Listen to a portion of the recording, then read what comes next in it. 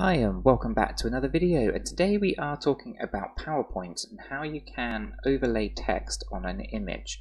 I'm going to show you um, a couple of different things as well so how to obviously just have a text box over your image, um, how to use artwork, um, word art over your image and also how to subtract your um, text from a shape so you can see the image um, coming through the words that you have typed.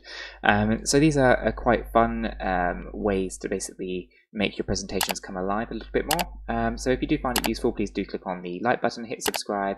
Um, it means a lot to the channel and let's jump on over to a PowerPoint.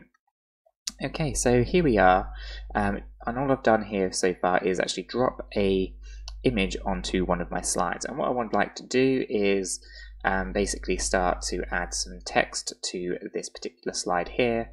Um, and it's quite easy to do. So the first thing we're going to do is head over to the ribbon and click on Insert, just at the top here, and then head over to the um, text box.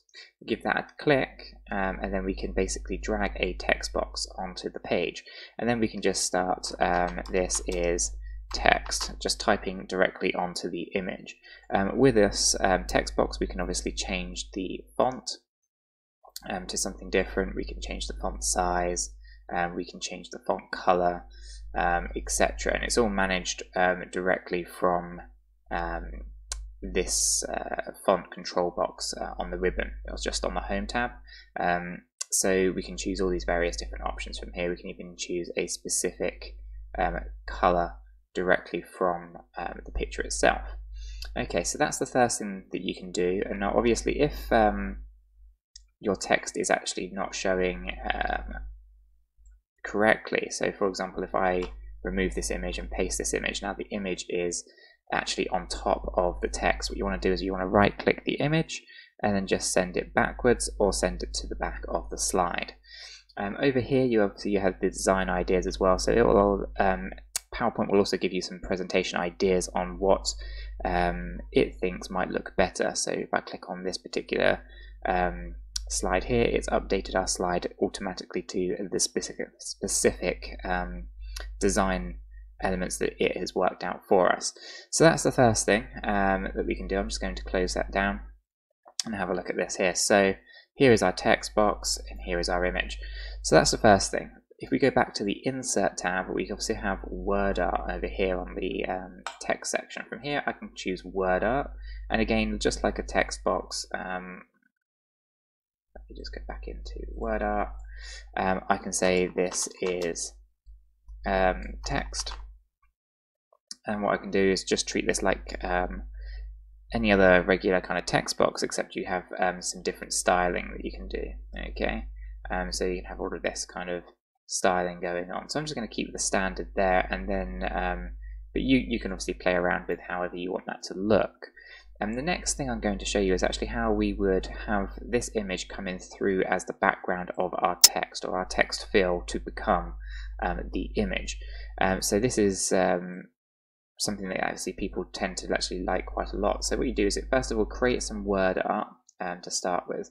And then I'm just going to um, basically select this word art that we've already created um, and turn it into bold. I'm then going to make it slightly bigger, so I'm going to go um, up to here and I might just um, change this to say explore in capitals uh, like so and I can make this text box bigger um, and I might actually go super big with the text and just make that enough to fill the entire page like so. Okay, so now we we have um, this, and what I'm going to do is create um, a shape, and the shape is going to be a rectangle, and the rectangle is going to fill the entire page. Okay, the entire slide is now this rectangle. We'll make sure that that fills correctly um, just by expanding. Okay, and I'm just going to send this backwards one place. So now we have our word art on top of our um, image here. And what I can do is just make sure that that is dead center. do uh, is select the background and then using the control key select the um, word art. From here you want to navigate over to the um, shape format um, tab and then merge shapes and from the little drop down menu here we want to select the subtract. And what that's now done is uh, basically cut out the word explore from our shape. Um, and then underneath there we can see the image. Okay, so now we have the image coming through um, our shape. So the other thing that I just want to do here is actually just resize um, this image a little bit so that um, you can see more of it through our um, shape there. Um, and now I can obviously change the color um, and style of our particular um, rectangle as well.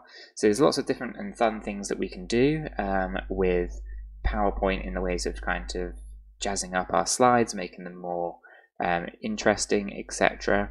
Um, so yeah, do have fun with that, but those are the different methods that I had for you on how to overlay um, text on your images, how to use text boxes, word art, and then finally how to have your images showing through your text.